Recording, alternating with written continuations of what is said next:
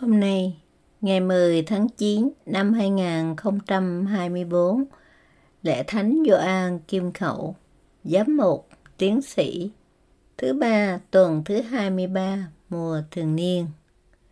Trích thư thứ nhất của Thánh Phaolô Tông Đồ gửi tín hữu Corinto. Anh em thân mến, làm sao trong anh em có người dám đem việc bất bình với kẻ khác ra thư kiện trước mặt cái gian ác, chứ không trước mặt các thánh?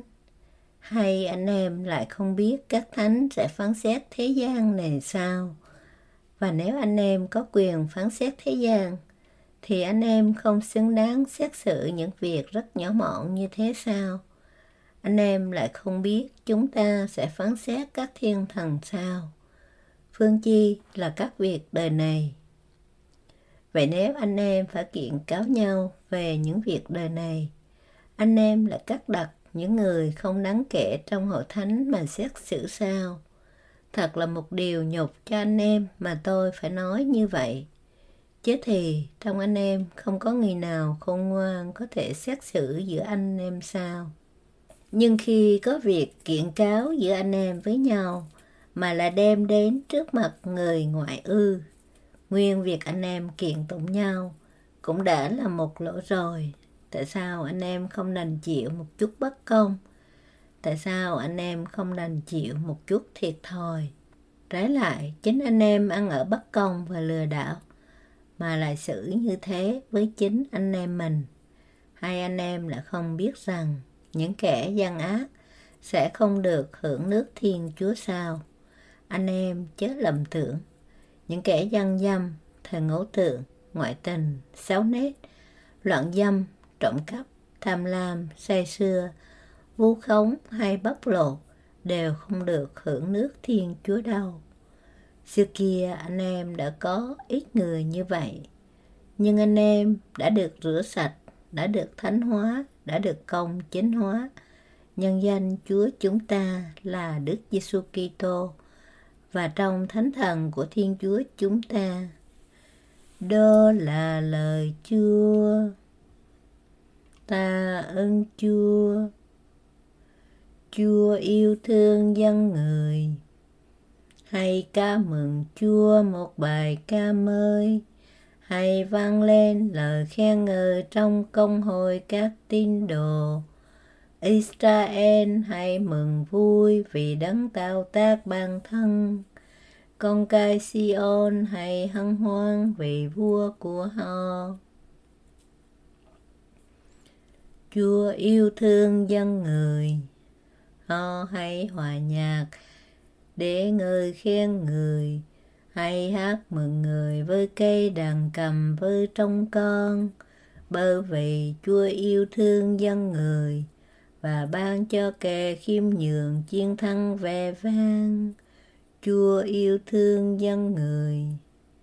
Các tín đồ hãy mừng rỡ trong vinh quang, hãy hoan hỷ trong những nơi khu phố, miệng họ hãy reo lên lời hoan hô Thiên Chúa. Đó là vinh quang cho mọi tín đồ của Chúa. Chúa yêu thương dân người. Alleluia, Alleluia. Anh em hãy tích trữ lời ban sự sống. Anh em hãy chiêu sang như những vì sao ở giữa thế gian. Alleluia.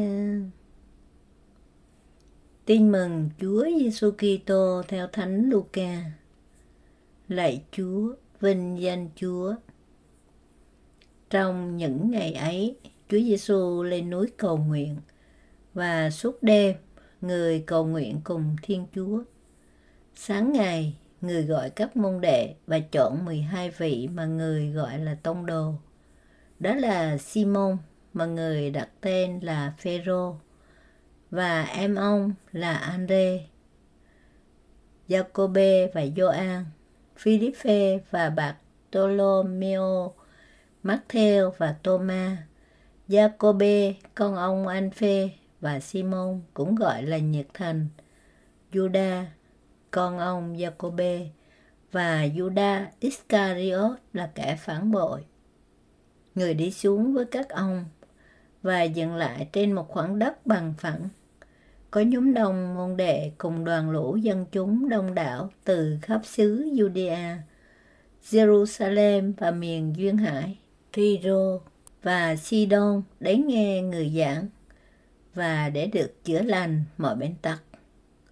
Cả những người bị quỷ ô ế hành hạ cũng được chữa khỏi và tất cả đám đông tìm cách chạm tới người vì tự nơi người phát xuất một sức mạnh chữa lành mọi người.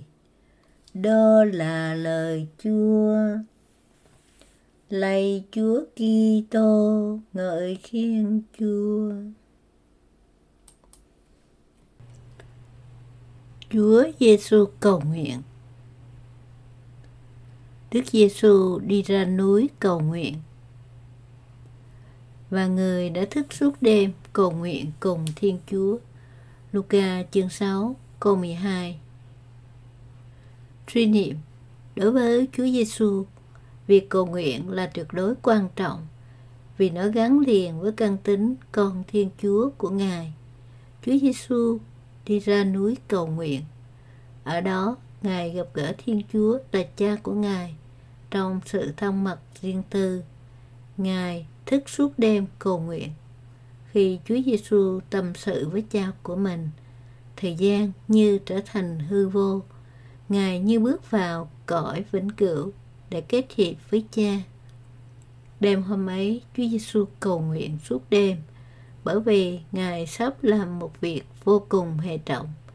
Ngày hôm sau, Ngài sẽ chọn gọi nhóm 12 để giao phó cho họ sứ mạng quy tụ và qua sóc hội thánh cho đến ngày Ngài quan lâm. Ngài cầu nguyện để lãnh ý Chúa Cha, để rồi Ngài sẽ thực hiện những gì Chúa Cha muốn, theo cách Chúa Cha định. Chả trách gì các môn đệ bị cuốn hút theo Ngài. Xin Thầy dạy chúng con cầu nguyện. Luca chương 11 câu 1 Mời bạn, mọi Kitô hữu đều được mời gọi kết hợp với Thiên Chúa qua việc cầu nguyện. Và chắc bạn cũng đã nhiều lần cầu nguyện rồi. Thế bạn cảm nghiệm được sự kết hiệp thân tình trong những giây phút ở bên Chúa chưa? Hay xác thân ngồi đó và lòng trí lại đi du lịch vòng quanh thế giới? Thầy Giêsu xem việc cầu nguyện là việc thiết yếu như lương thực nuôi sống. Gioan chương 4 câu 34 Phần bạn bạn đã thấy cầu nguyện là việc cần thiết cho cuộc sống mình chưa? Sống lời Chúa. Dù bận rộn đến đâu, cũng dành thời gian cầu nguyện riêng với Chúa mỗi ngày. Cầu nguyện là Chúa Giêsu. Xin cho con luôn biết dành thời gian cho Chúa mỗi ngày để con nhận biết và thi hành ý muốn của Chúa. Amen. Trích suy niệm lời Chúa hàng ngày quà tặng quý giá nhất. Trong một góc hè phố, một bác hành khách tê bại nằm co quắp. Chợt có một người đàn ông ăn mặc bảnh bao đi qua. Người hành khách bèn mở miệng xin bố thí. Người đàn ông ăn mặc sang trọng, xỏ tay vào túi áo. Nhưng ông tìm mãi mà chẳng được gì, vừa bối rối vừa thành kính, Ông ta mới phân bua với người hành khách. Này bác, tôi muốn biếu bác chút đỉnh, nhưng rất tiếc. Vì đi bất ngờ nên tôi không có mang tiền theo, xin bác thông cảm cho. Người hành khách mới trả lời, cảm ơn ông, ông đã cho tôi nhiều hơn mọi cuộc bó thí, bởi vì ông đã gọi tôi là bác. Chưa bao giờ trong đời tôi tôi đã nhận được danh dự đó trên môi miệng của một người sang trọng nào cả. Dù là một người hành khất, dù là một người tàn tật, dù là một người bị xã hội rùng rẩy bỏ rơi, tất cả đều có một phẩm giá như nhau. Quà tặng quý giá nhất mà chúng ta có thể trao tặng cho người khác chính là tôn trọng người đó với tất cả phẩm giá cao quý nhất của họ bài trích sách lẽ sống